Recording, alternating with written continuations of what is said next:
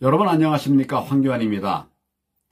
오늘 하루 종일 형사 재판을 받고 왔습니다. 무슨 재판이냐?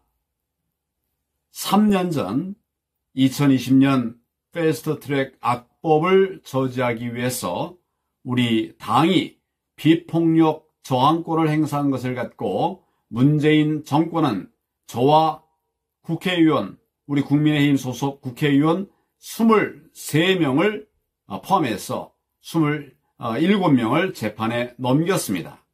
지금까지 거의 매달 재판을 받고 있고 또 재판 때마다 하루를 꼬박 소비하고 있습니다. 여야 협치는 깨졌습니다.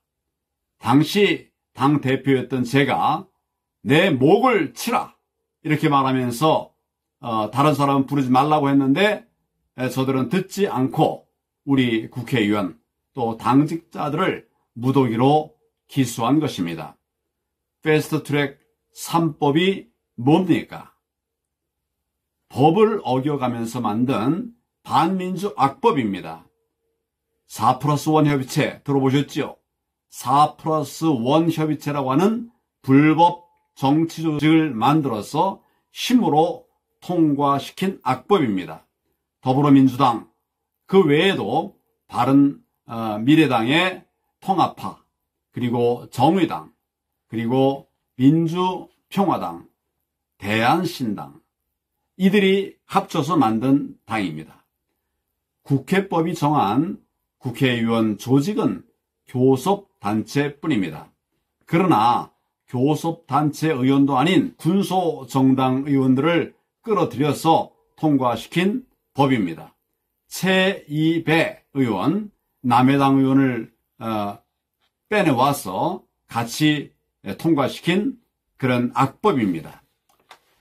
어, 그들이 에, 뭐, 통과시킨 선거법이라고 하는 것은 무언가 이른바 준연동형 비례대표제 선거법입니다. 심상정 의원이 국민들은 아, 산식이 필요 없다 뭐 이렇게 말해서 국민은 결국 몰라도 된다는 것이냐 이런 비판을 샀던 법입니다. 결국 비례 위성 정당을 만들 수밖에 없게 만들어서 국회와 정치를 희화한 법입니다. 아, 그들이 사법개혁이라면서 패스트트랙 꼼수를 써가면서 만든 법은 공수처법입니다. 지금 공수처가 무슨 역할을 하고 있습니까?